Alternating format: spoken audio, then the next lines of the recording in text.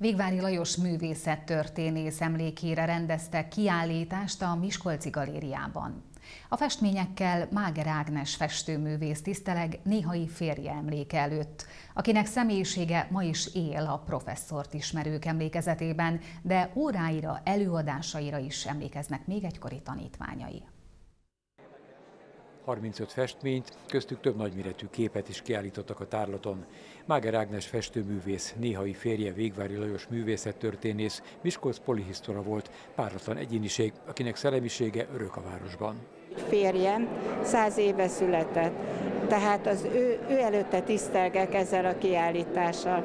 A másik apropó, hogy nagyon szerette Adi Endrét és Adi Endre költészetét, munkásságát, és Adi pedig, neki pedig, ő pedig száz éve halt meg.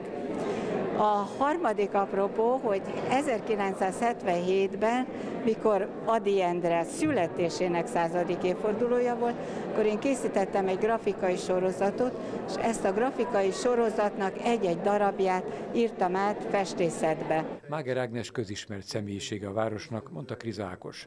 Több mint képzőművész nem csak a rájellemző képi kultúrával gazdagít minket, hanem szellemi közösséget is teremtett városunkban, emelte ki köszöntőjében a polgármester.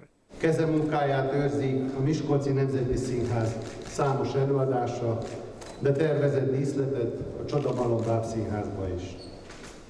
Alkotásaival hírét vitte városunknak, bármerre is járt a világban. Maradandó művei pedig itt élnek közöttünk, a köztéri plastikákban, templomok oltárképei. A kiállítást Szűcs Géza költő nyitotta meg, aki a következőket mondta a képekről. Van egy nagyon összetett nagyon bonyolult sokszólamúság, ez a világbeszéde. És akkor ehhez képest, illetve ebből kiugranak bizonyos szólamok, bizonyos monológok, olykor dialógusok.